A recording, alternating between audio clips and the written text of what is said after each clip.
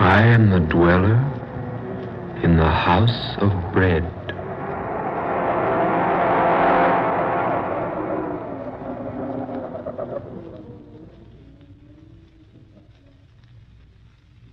I'm Scott Bishop. I create fantasies for the radio. I write weird stories for magazines. I write books on strange subjects. Authors who do these things sometimes attract odd happenings. I don't ask listeners to believe my stories. I do not expect you to believe what I'm going to tell you now. As I was sitting alone at my typewriter one evening, plotting in my mind an outline for a story, my room was quiet. There was a soft, spicy odor of incense being wafted in from some other portion of the house. An organ was playing softly somewhere in the distance. That was when I fell asleep. And in my dream, I found myself alone high on a precipice, the highest in all creation, where I could observe with a naked eye all the far flung wonders of the universe, where I could overlook that common clay that mankind calls the earth. And as I watched high on that vantage point,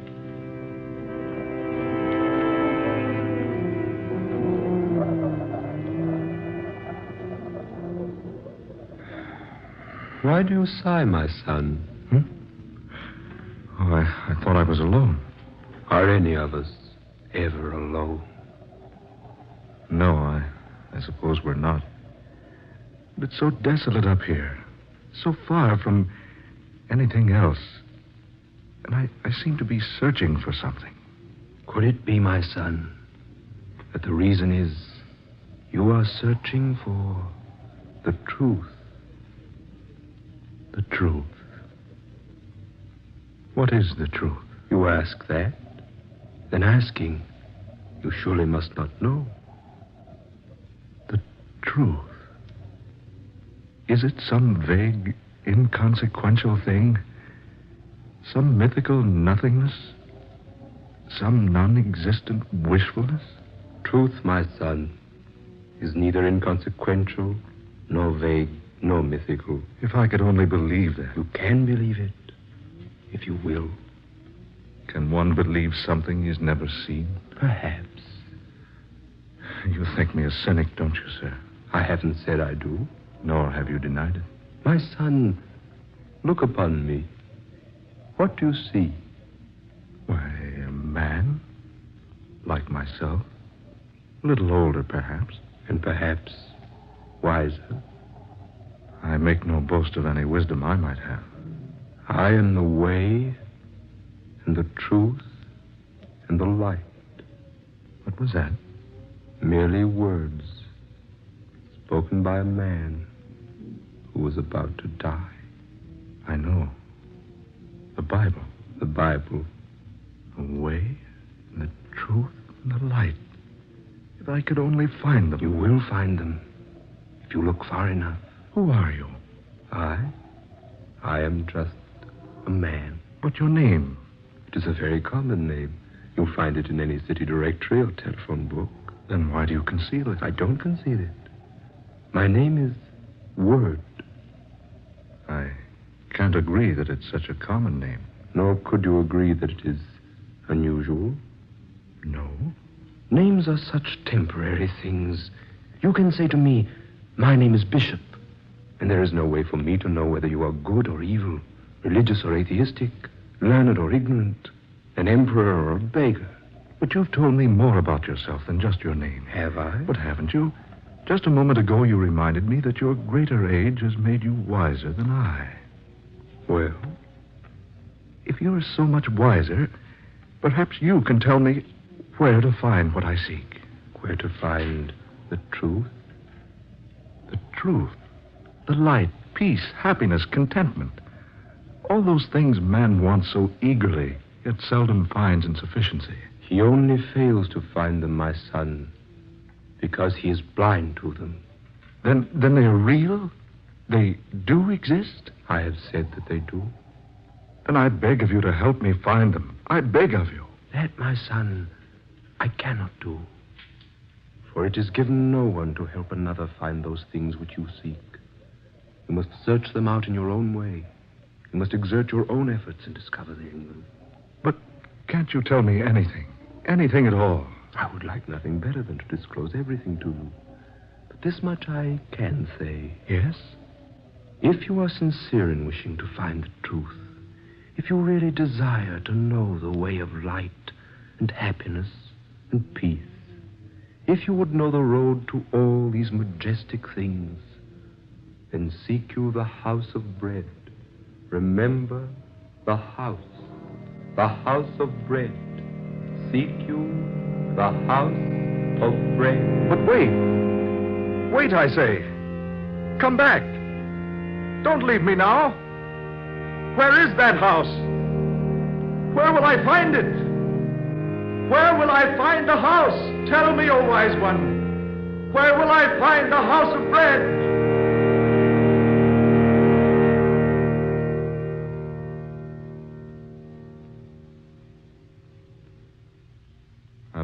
Told you I was dreaming. I make no secret of that. At first, I didn't tell my dream to anyone. Instead, I cherished it. Gave it many hours of deep thought and serious contemplation. I didn't even tell Sonia. Not at first. I gave much thought to the things the man on the mountaintop had said to me. Those lines he quoted from a book almost as old as Christianity itself. And the house of bread. Where was it? Could I find it?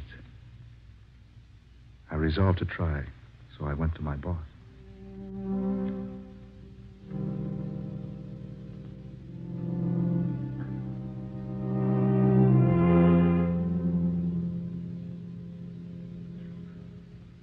Trying to tell me, Bishop, that you're leaving? Regretfully, yes. But your your work, your your future. I wonder, sir, if there is a future. Well, Bishop, what intonations come over you? You've got a great future. Your books are selling like peanuts at a circus. Here's a wire from fantastic periodicals. They want a contract for a series of 12 short stories about the supernatural. That's $3,000.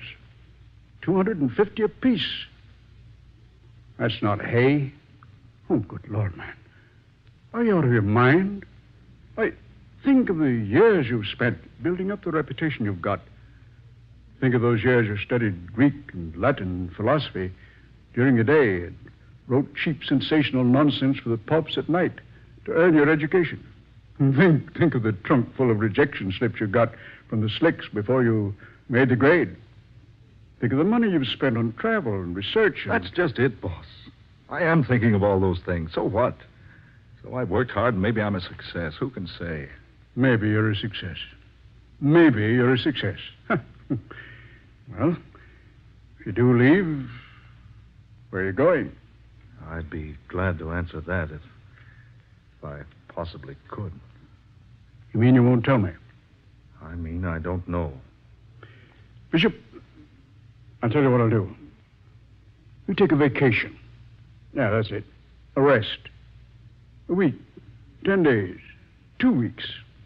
Take as much time as you like. Then, uh, when you come back, boy, you'll feel better. I don't think it's going to be that easy. Oh, Bishop, what in the name of heaven's come over you? Don't you think you at least owe me uh, an explanation? Yes, I guess I do. I owe anyone an explanation as you. Well, some satisfaction in that, at least. Well, it's like this. It all happened about three weeks ago out at my study. I had a story to write for the radio, the Egyptian mummy thing. While I was trying to come up with a reasonable plot, I drifted off to sleep.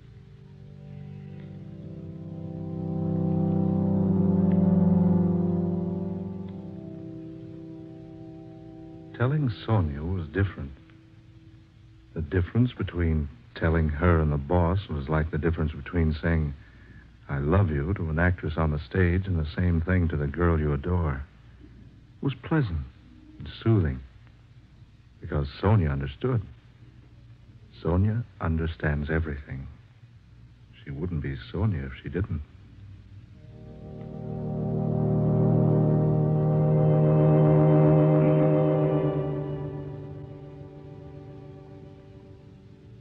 That's the way it is, Sonia.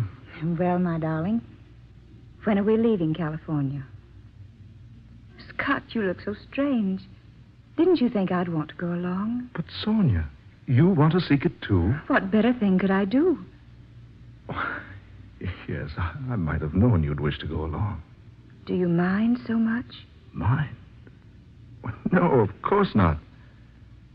But the journey may be a long one I love long journeys. and a difficult one. I've always been used to difficulties, It may take us to far off places, but I adore far off places. and it may end only in disappointment. Haven't we shared many a disappointment, Scott? Yes, indeed we have. I can think of no one I'd rather make the journey with. Thank you, darling. When do we leave? Well, whenever the house trailer's been remodeled and the car cylinders have been ground. Where do we go first? I don't know for certain. It reminds me of Sir Galahad looking for the Holy Grail. Did he know where he was to begin his search? More or less, I suppose. Well, do you know where to start looking for the House of Bread? Darling, I haven't the slightest idea where to begin. Dearest, what do you suppose the man named Word meant by the House of Bread? Yeah, I've asked myself that time and time again. Surely not a real house. No, I think not. Sonia, that phrase symbolizes something. But what? Well, perhaps we shall find out someday.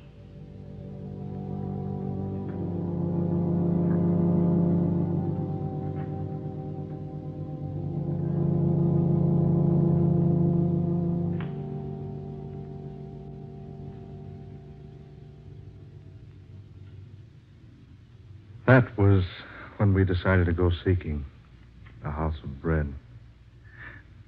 As I look back on it now, I don't blame the boss for thinking I was balmy. Here we were, Sonia and I, two supposedly sane, sensible people throwing up everything, kit and caboodle, and taking out to look for something more vague and unknown than Shangri La or Arcadia or Nirvana, some other synonymous place. And all because of dream.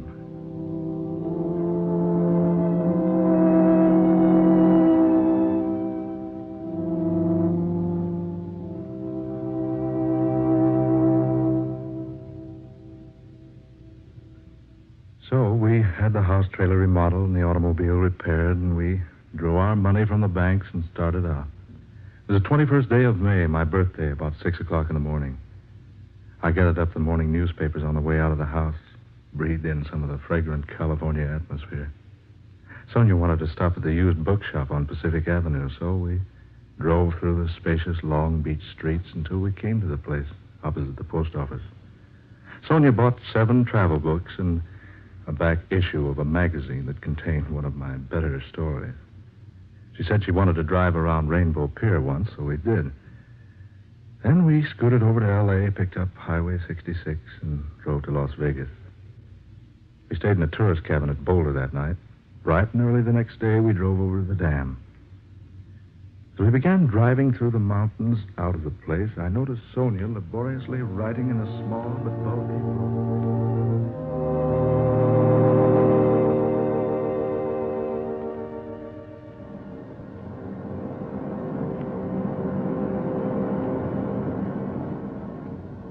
What's that, dear?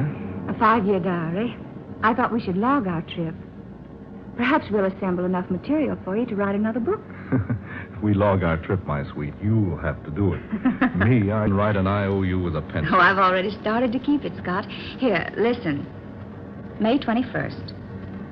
We left Long Beach at 7 a.m. and were out of Los Angeles by 10.30. The trip across the desert was uneventful, but quite pleasant, and we arrived at Las Vegas, Nevada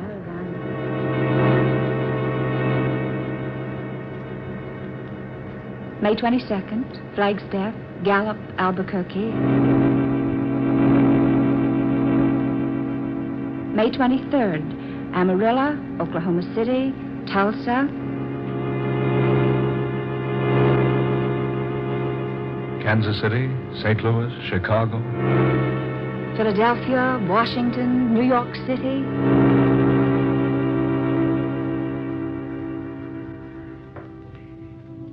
May 30th. We sailed today from Pier 17 for London aboard the SS America. As we stood at the ship's rail together, Sonia and I, we wondered just why we decided to leave the good old United States behind.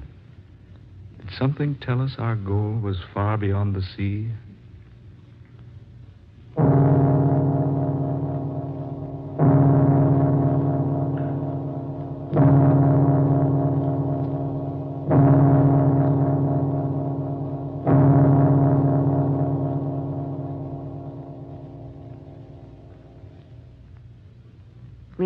Past few days in London. It is now June 27th. We have seen the River Thames, London Bridge, Trafalgar Square, Downing Street, Westminster Abbey, Buckingham Palace, Piccadilly Circus, many other points of interest. We were especially attracted by a place called the Light of the World.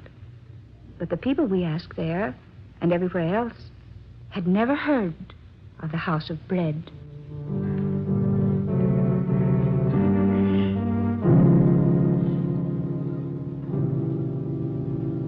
July 16th. We're about to leave Paris for Madrid. Sonia and I sought diligently in this city of pleasure for the place the man called Word named to me. We searched everywhere the magnificent Bois de Boulogne, boulevards, everywhere we could go.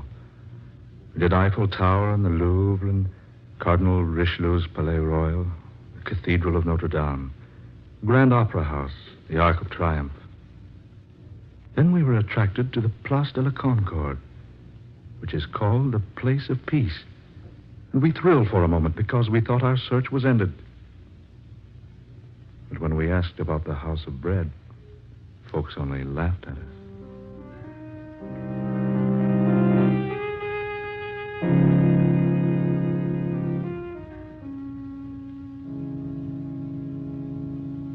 July 30th, Madrid, where there are two classes of people those who go to bed after 3 a.m. and those who get up before 4. No Spaniard had ever heard of the House of Bread.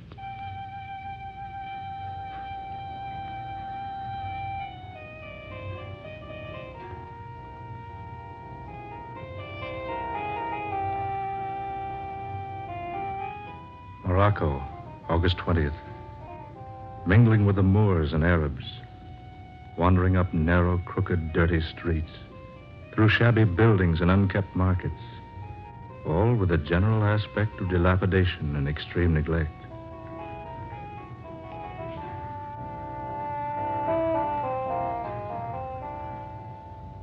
Tripoli, September 15th. Sponge fisheries, ostrich feathers, gold, ivory, rugs, and the ruins of a triumphal arch erected to Marcus Aurelius.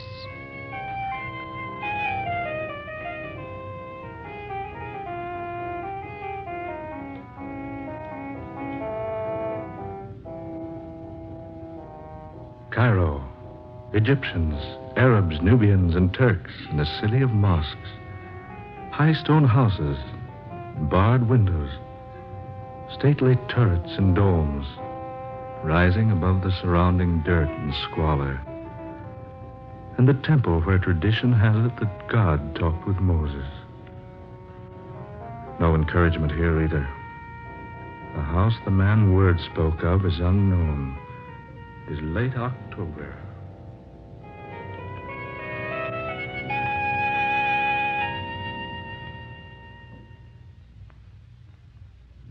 November 6th, November 16th, November 26th, December 5th, December 15th, December 25th, Jerusalem, The hill of Calvary, not far from the city gates, where once a humble man bearing a cross of misunderstanding and hate, far heavier than mere beams of wood, drank the last drop in the cup of human bitterness. The city of God. City of David, Solomon, Cyrus, the Persian king. Nebuchadnezzar the Babylonian, Alexander the Great, Constantine the Great, Pontius Pilate.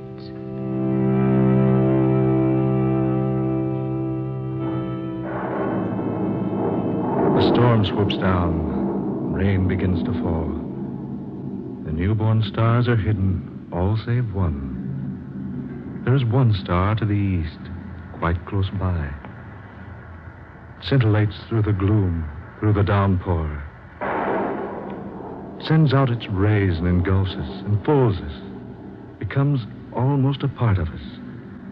And Sonia writes that we must follow the beam it sends pounding vigorously earthward.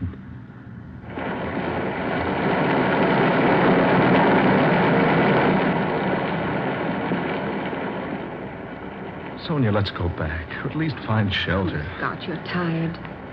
We've tried to find shelter. It's strange. The lodgings are completely filled. Then we'd best go back to Jerusalem instead of wandering about here in the darkness. Here. There's some sort of a shelter here, Scott. Let's step inside a moment, shall we? It's all right, dear. There. There seems to be a light in here. Yes. And there's someone here beside us. Scott, look. I bid you welcome, good people. I. We beg your pardon. We thought this place was unoccupied. No, no, do not go. You are welcome here. I say, haven't we met before? I believe we have. Yes, we have. Now I remember. You're the one in my dream. Your name is Word. In the beginning was the Word, and the Word was with God, and the Word was God. The way and the truth and the light. I am come, a light into the world, that whosoever believeth in me shall not abide in darkness. The way and the truth and the light. And lo, the angel of the Lord came upon them, and the glory of the Lord showed round about them, and said unto them, Fear not, for behold, I bring you good tidings of great joy. For to you is born this day a Savior, which is Christ the Lord. Be not afraid.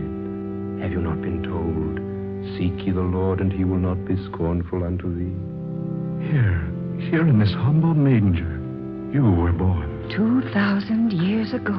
Verily I say unto you, I am with you at all times, in all places, even unto the consummation of the world.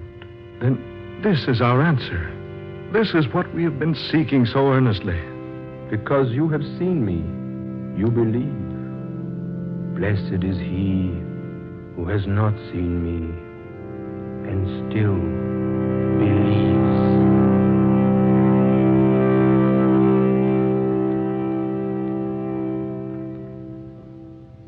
And that is my story.